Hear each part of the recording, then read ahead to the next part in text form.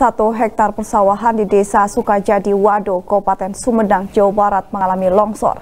Hektaran sawah dan pemukiman terdekat pun terancam tergerus lantaran adanya retakan yang meluas. Longsor tersebut memisah akibat tingginya intensitas curah hujan yang mengguyur wilayah Sumedang selama sepekan terakhir.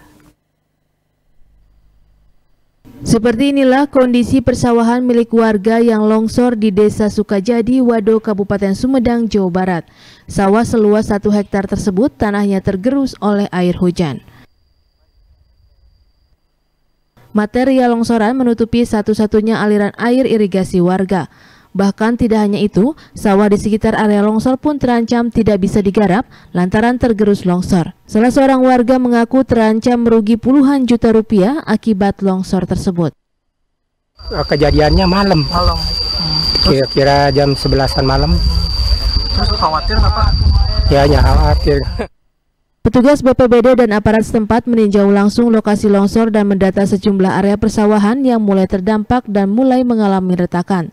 Tak hanya persawahan, longsor juga mengancam pemukiman terdekat dengan berjarak hanya 100 meter dari area longsor. Ini yang mengalami longsor sekitar 500 bata atau sekitar 2 hektar, 1 hektaran kurang sedikit. Itu kronologinya gimana itu Pak? Ini kronologi karena terjadi hujan deras hampir sehari semalam dan ini perkirakan longsor sekitar jam 11 malam.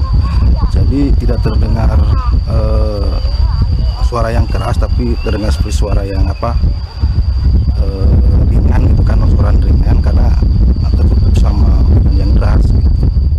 Warga berharap adanya tindakan cepat dari pemerintah Kabupaten Sumedang untuk mengevakuasi material longsor yang membuat gerusan longsor semakin meluas dan mengancam area pemukiman warga.